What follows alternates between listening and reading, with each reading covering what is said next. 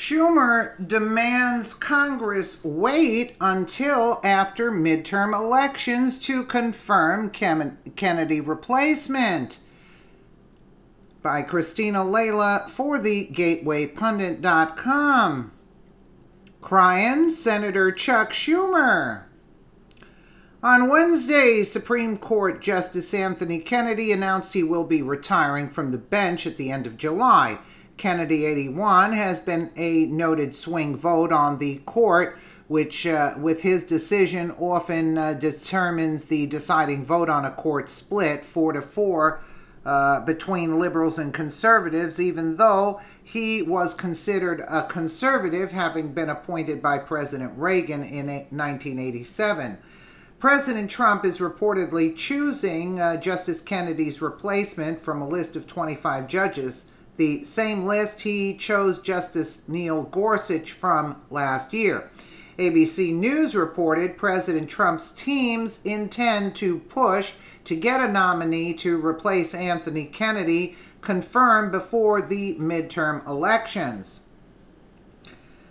Senate Minority Leader Chuck Schumer immediately pushed back on Trump's plan to get his nominee to replace Justice Kennedy confirmed before the midterm elections. Why are we not surprised? Schumer demanded Senate Majority Leader Mitch McConnell abide by the Biden rule when deciding to confirm a Supreme Court justice.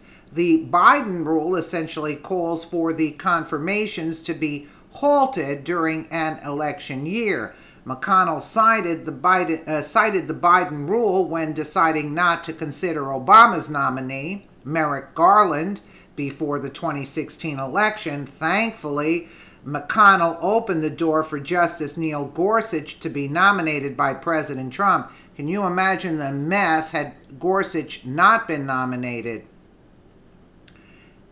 Uh, that uh, the that's why they got rid of Scalise. You see, the Republicans should not acquiesce to the Democrats' demands. Absolutely not. Confirm President Trump's next, next uh, justice nominee as soon as possible. Schumer laughably said if the Senate confirms a justice during the election year, it would be the height of hypocrisy. No, Schumer, you are the height of hypocrisy presidential election years are different from midterm elections. Obama's second SCOTUS nominee, Elena Kagan, was confirmed in August of 2010, an election year. But then everybody got hip to Obama trying to destroy this country and make it a liberal country. And now listen to Schumer. Our Republican colleagues in the Senate should follow the rule they set in 2016 not to consider a Supreme Court justice in an election year.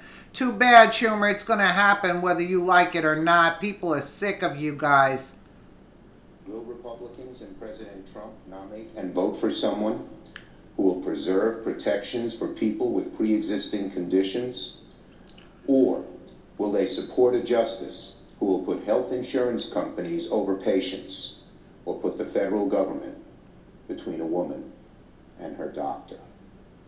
The Senate should reject, Look how sad he sounds. on a bipartisan basis, any justice who would overturn Roe v. Wade or undermine key health care protections. The Senate should reject anyone who will instinctively side with powerful special interests over the interests of average Americans. Our Republican colleagues in the Senate should follow the rule they set in 2016 not to consider a Supreme Court justice in an election year. Senator McConnell would tell anyone who listened that the Senate had the right to advise and consent, and that was every bit as important as the president's right to nominate. Millions of people are just months away from determining the senators who should vote to confirm or reject the president's nominee, and their voices deserve to be heard now, as Leader McConnell thought they should deserve to be heard then. Anything but that would be the absolute height of hypocrisy. People from all across America should realize that their rights and opportunities are threatened. Americans should make their voices heard loudly, clearly, and consistently.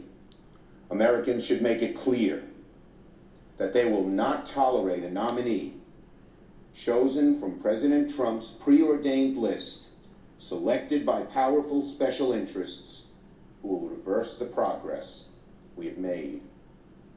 What progress have you made?